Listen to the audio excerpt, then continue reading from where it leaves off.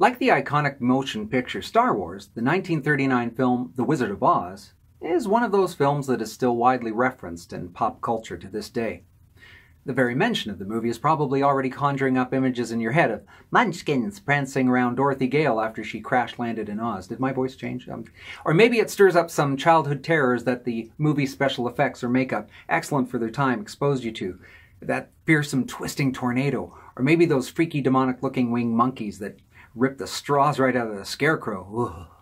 Anyway, uh, the other night, Nancy and I watched The Wizard of Oz, the recently restored version. Quite good, really. Uh, for the first time in I don't know how many years.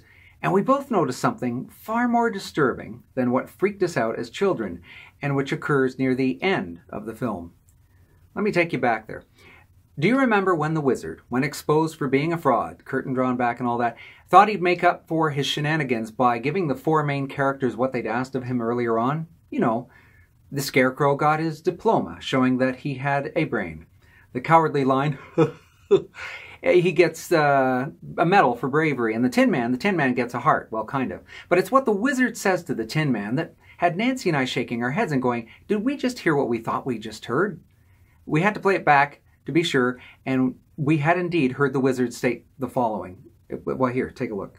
And remember, my sentimental friend, that a heart is not judged by how much you love, but by how much you are loved by others. Did you catch that? A heart is not judged by how much you love, but by how much you are loved by others? Really?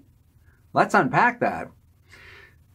As you might know, the film is fraught with flubs and faux pas that never got nixed from the final cut. So we thought that this might be one of them.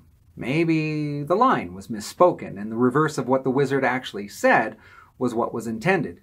So what do you do? Yeah, we, we searched the Webernet. And there's absolutely no indication that this was a flub line, but a very intentional statement scripted for what was probably the most emotional scene of the picture at a moment when the chances of imprinting something on the human mind are highly favorable. What message is being sent to children then? If you're telling them your heart is not judged by how much you love, but by how much you are loved by others. That's a ter- terrible impersonation, sorry. Uh, I'll, I'll posit this. I'll posit that you're setting up a kid to be a creepy little attention seeking narcissist. I mean, think about it. You're implanting the idea hey, if you're really loved by others, that's what's important. You're not judged for how much loving you do well, there's just no other way to interpret that line. Uh, by suggesting to a kid, or an adult for that matter, that your value is arrived at by how many likes you get on Instagram and Facebook, or how many YouTube subscribers you've got. Please do so at the end of this film, by the way. Uh, you are truly promoting self obsession and egocentrism. Saying that life is not about how much love you put out there, but how much you're getting is a recipe that was baked up by the denizens of hell how awful it was to hear this pernicious axiom, this sociopath engendering quote in a children's film. Now, you may think, ah, you're making a mountain out of a molehill. We don't think so, because if you look for this quote on the internet, it has been turned into artwork for sale by way of e-stores everywhere. People actually like and promote this psychotic little adage thrown out there by the bumbling old wizard. Check it out.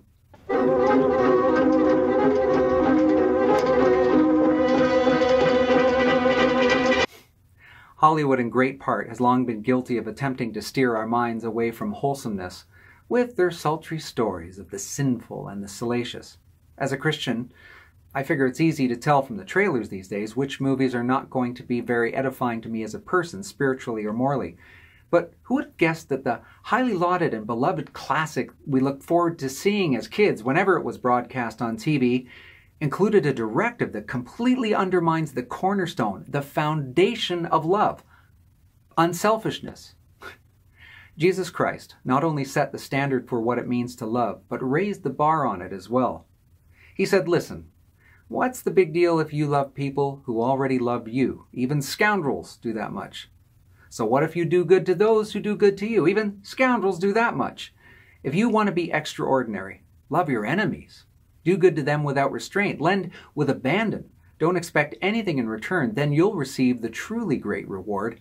You will be children of the Most High, for God is kind to the ungrateful and those who are wicked. So imitate God and be truly compassionate, the way your Father is. That's Luke 6, 32 to 36. He also said, Whoever wants to become great must first make himself a servant. Whoever wants to be first must bind himself as a slave, just as the Son of Man, that's Jesus, did not come to be served, but to serve and to give his life as the ransom for many. That's Matthew 20, 26 to 28.